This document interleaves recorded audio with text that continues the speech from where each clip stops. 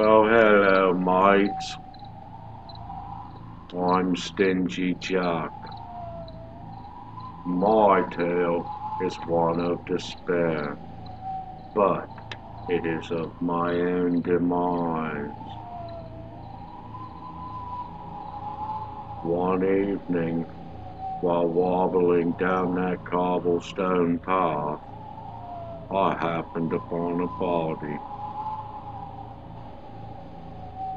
That body happened to be Satan. He had come to take me. Well, I had but one request to go to the pub and drink as much ale as I could before reaching those gates of brimstone. He agreed, and I had my fill. Now I had coin in my pocket, but I asked him to pay. He said he had no coin. I suggested turn into a coin, I will pay, and afterward he could turn back into himself and no one would be any the wiser. Well, he agreed to that also.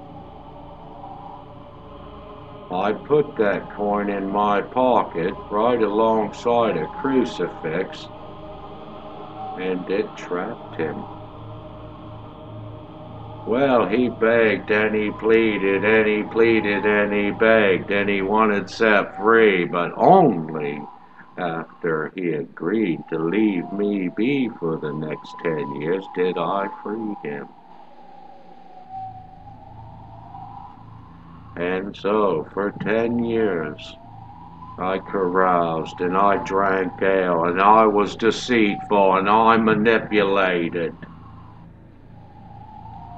I also grew older. Ten years went by and there he was again. He had come to take me. Well, I knew he wasn't going to fall for the first trick, but I had another idea in mind. As we walked toward the bars of brimstone, we happened upon an orchard and an apple tree, and I told him I was hungry. But I was an old man and I wasn't able to climb. So I asked him, would you climb up there and give me one of those there apples? And he agreed. And as he was climbing up that tree fetching that apple, I took to carving crucifixes around the base of that tree. I had trapped him again And again he begged and he pleaded and he whined and he wanted set free. Well, this time I didn't make the mistake of putting a number on it, and I told him that I would only set him free if he agreed to leave me be forever. And you know what he did? He let me be forever. So I set him free.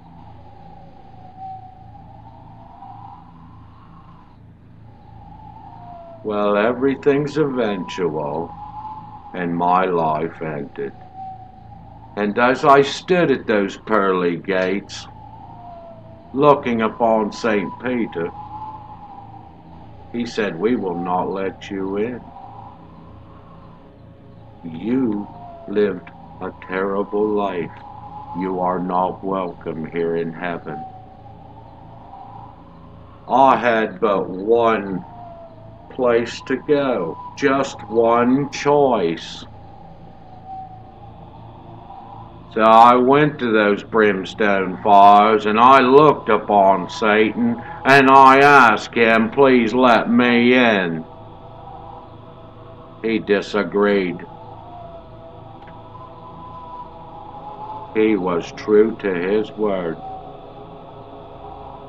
So I turned and I looked at the darkness and I began walking away. But before I got too far, he took one of those brimstone coals and he tossed it to me. I took a turnip and I carved it and I put that brimstone coal inside of it and I used it to light my way in this afterworld darkness.